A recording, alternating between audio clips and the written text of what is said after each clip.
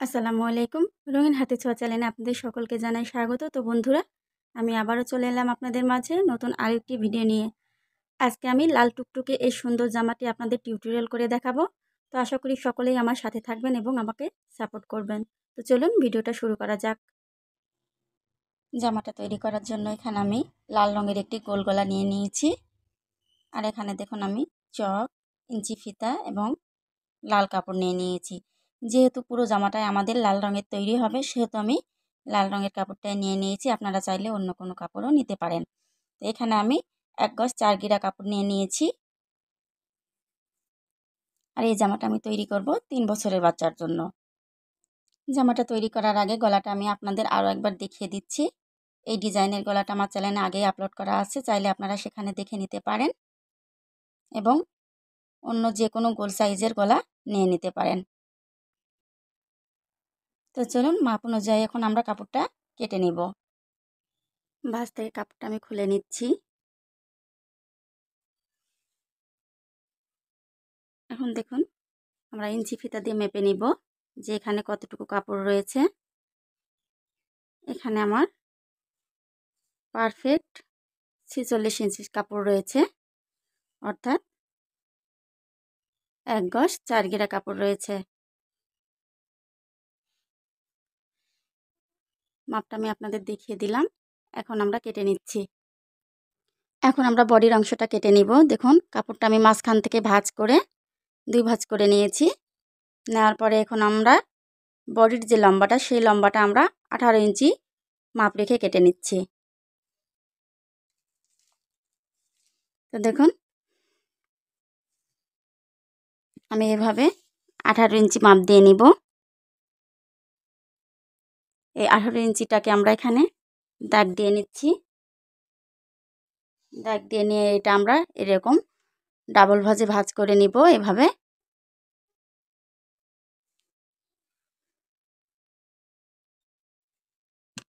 ভাজ করে নেওয়ার পরে দেখুন আমি এভাবে সমানভাবে কেটে নিচ্ছি। এভাবে।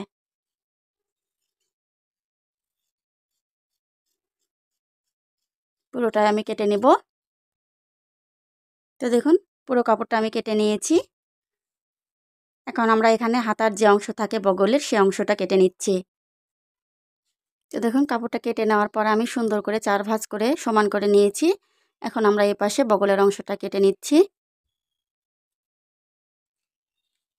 তো বগলের অংশটা কাটার জন্য দেখুন, এখানে আমি এভাবে এদিকে আমরা দুই ইঞ্চি পরিমাণ চড়াই দাগ দিয়ে নিচ্ছি এখানে বগলের অংশটার জন্য।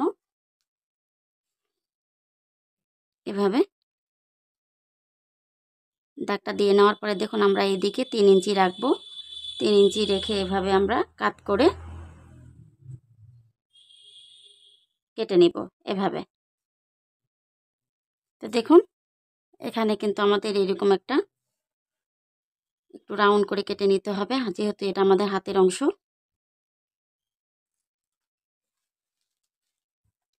তো আমি এভাবে দেখুন, হাতের অংশটা কেটে নিচ্ছি।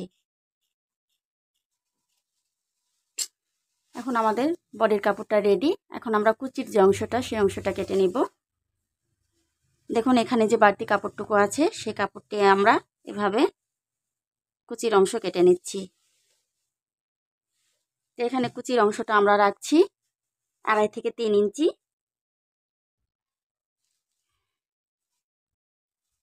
দেখুন, এখানে আমি আড়াই ইঞ্চি করে দাগ দিয়ে দিয়ে কাপড়টা কেটে নিব। এভাবে লম্বায় আমরা দাগ দিয়ে নিচ্ছি। এই মাপটা অনুযায়ী আমরা বাকি কুচির কাপড়গুলো কেটে নিচ্ছি। তো দেখুন, আমি এভাবে লম্বায় কাপড়টা কেটে নিলাম।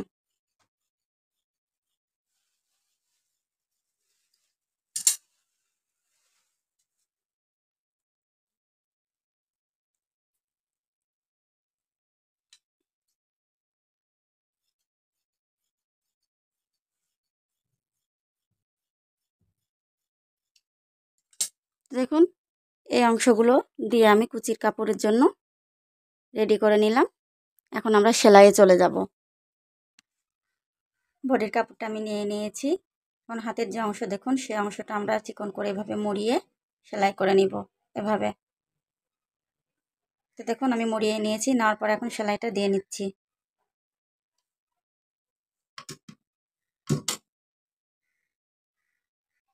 তো দেখুন, সেলাইটা আমি করে নিচ্ছি এখন।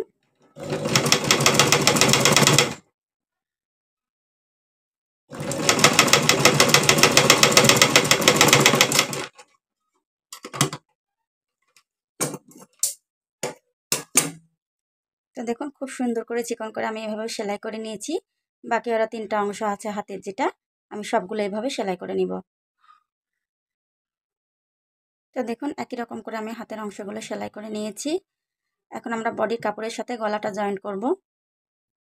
তো দেখুন, বডির কাপড়ের সাথে জয়েন করার আগে আমি গলাটার যে পিঠের দিকে খোলা অংশ রয়েছে, সে অংশটা আমরা কিছু অংশ সেলাই দিয়ে বন্ধ করে নিচ্ছি। এটা জামার বডির সাথে জয়েন করার সুবিধার্থে আমি এভাবে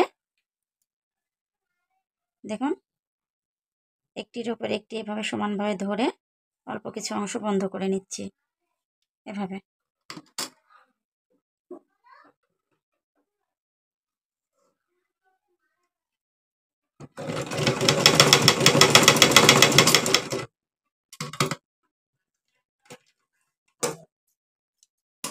তো দেখুন, আমি এভাবে বন্ধ করে নেওয়ার পরে এখন গলাটাকে সমানভাবে ভাঁজ দিয়ে নিব এভাবে। ভাঁজ দিয়ে নেওয়ার পরে দেখুন আমরা হাতের যে বগলের অংশটা, সেটা আমরা এই দিক থেকে দুই পাশেই তিন ইঞ্চি করে ছেড়ে নিব। তো দেখুন, এখন আমি ঘাড়ের ওপর থেকে নিচের দিকে তিন ইঞ্চি পরিমাণ দাগ দিয়ে নিব হাতের অংশের জন্য এভাবে। আমি এপাশেও দেখুন তিন ইঞ্চি করে দাগ দিয়ে নিব।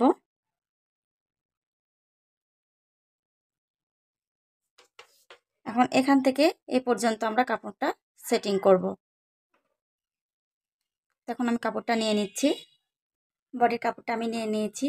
চেকন করে যে অংশটা বগলের আমি সেলাই করে নিয়েছি সেই বরাবর আমরা দেখুন যেখানে আমি পয়েন্ট করে দাগ দিয়ে নিয়েছি সেই বরাবর আমরা এইভাবে ধরে নিব। এভাবে, ঠিক এভাবে আমরা এখন এখানে আটকে নিব। দেখুন, আমরা একটু একটু করে কুচি ধরে গলাটার সাথে জয়েন করব। এভাবে আমি কুচিগুলো দিয়ে নিচ্ছি।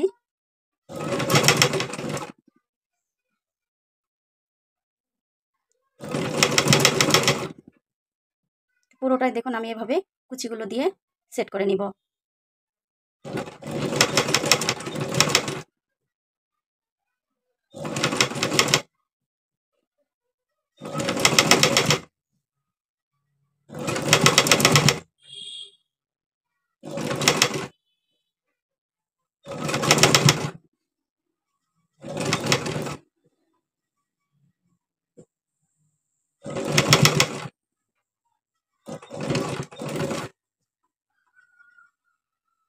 তো দেখুন। আমি মার্ক করা অংশ পর্যন্ত কুচিগুলো দিয়ে সেট করে নিয়েছি।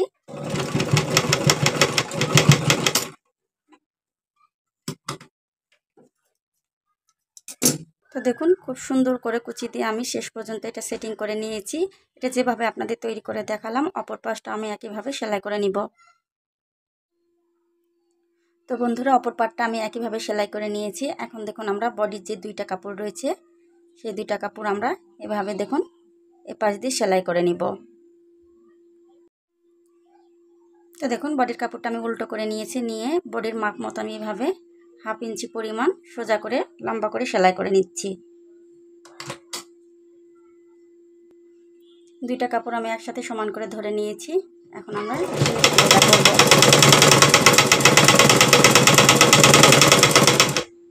তো দেখুন, এভাবে আমরা পুরোটাই শেষ পর্যন্ত সেলাই করে নিচ্ছি।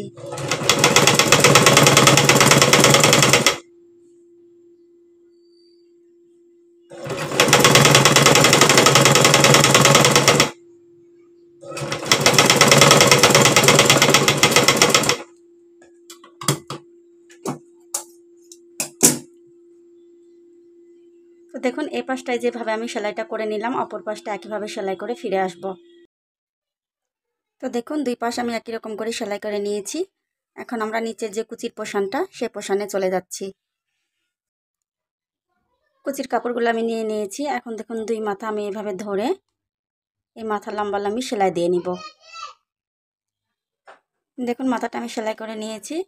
এখন আমরা যে কোনো এক ধারে চিকন করে মুড়ি দিয়ে সেলাই করে নিব। তো আমি এভাবে দেখুন, চিকন করে মুড়ি দিয়ে সেলাইটা করে নিচ্ছি। এখন দেখুন কাপড় এক পাশ আমরা চিকন করে এভাবে ভাজ করে নিয়ে সেলাইটা করে নিচ্ছি।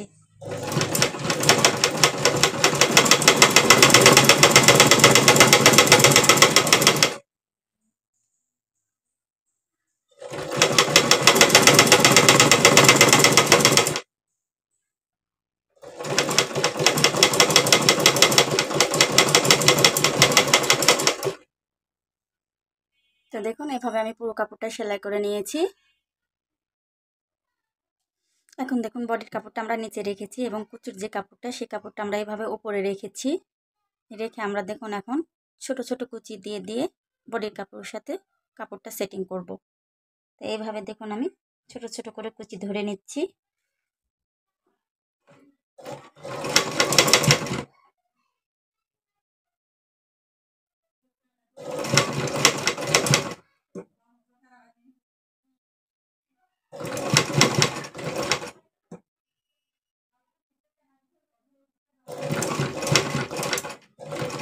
তো দেখুন, এভাবে আমি পুরোটা কুচি দিয়ে ঘুরে শেষ করে নিব। তো বন্ধুরা, পুরো জামার কুচিটা আমি লাগিয়ে নিয়েছি। এখন দেখুন, আমি চাপ সেলাই দিয়ে নিচ্ছি এভাবে।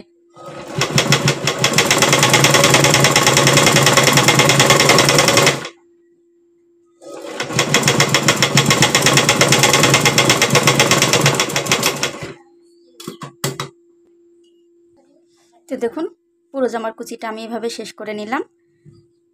এখন জামাটার ভিতরে আমি কিছু হাতের কাজ করব আর সেটা কীভাবে করব সেটাও আমি আপনাদের দেখিয়ে দিচ্ছি। জামাটার ভিতরে কাজ করার জন্য দেখুন আমি এরকম ডলার নিয়ে নিয়েছি। তো আমরা দেখুন কিছু দূর পর পর এরকম ডলারগুলো বসিয়ে নিব এভাবে। আমি ডলারগুলো কীভাবে বসাবো সেটাও দেখিয়ে দিচ্ছি। তো দেখুন ডলারটা আমি নিয়ে নিয়েছি। এখন ডলারটাকে আমরা চারপাশ থেকে আটকে নিব।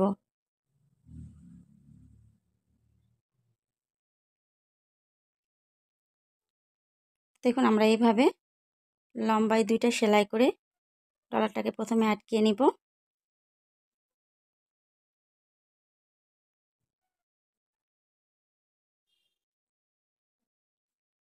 তো দেখুন, এভাবে আটকানোর পরে এখন আমরা এ পাশ থেকেও দুটা লম্বা সেলাই দিয়ে আটকে নিব।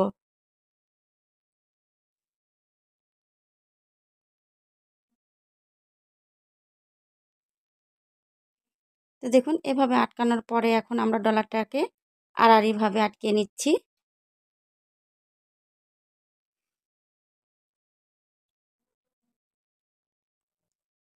মোট কথা ডলারটাকে আমরা খুব ভালোভাবে আটকে নিব যেন পরবর্তীতে না খুলে যায়।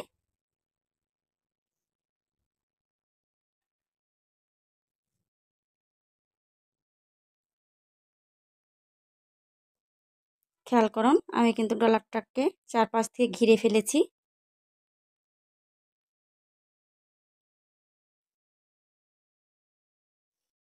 তো দেখুন, ডলারটা এখন আমাদের ঘেরা হয়ে গেছে। মাঝে দেখুন, একটা জায়গা দেখতে পাওয়া যাচ্ছে, সেই জায়গার মধ্যে আমরা সুইটা দিয়ে এভাবে প্রতিবার বোতাম স্টিচ সেলাই করে নিব। আমি চার ধার ঘুরে সুন্দর করে এভাবে বোতাম স্টিচ সেলাইগুলো করে নিচ্ছি।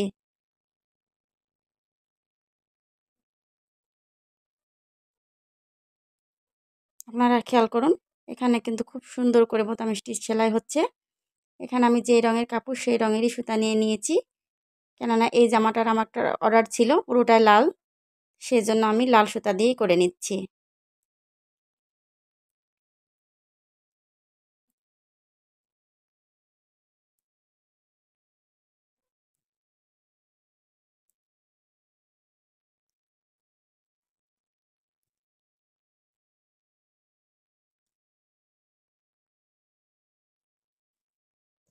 তো দেখুন, খুব সুন্দর করে আমি বোতাম স্টিচ সেলাই করে ডলারটাকে আটকিয়ে নিয়েছি। তো এইভাবে আমি পুরো জামাটাতে ডলারটা লাগিয়ে ফিরে আসব। তো বন্ধুরা, পুরো জামাতে আমি ডলারগুলো এইভাবে লাগিয়ে নিয়েছি। এখন এক নজরে আমি আপনাদের জামাটা দেখিয়ে দিব, দেখতে কেমন হলো। তো বন্ধুরা, এই হচ্ছে সুন্দর জামাটি। দেখতে খুবই সুন্দর লাগছে, ঠিক যেন লাল টুকটুকে একটা পরি। তো আপনার সোনামণির জন্য তৈরি করে ফেলুন এরকম গোলগালার একটি সুন্দর জামা। তো আমার আজকে ভিডিওটা এ পর্যন্তই।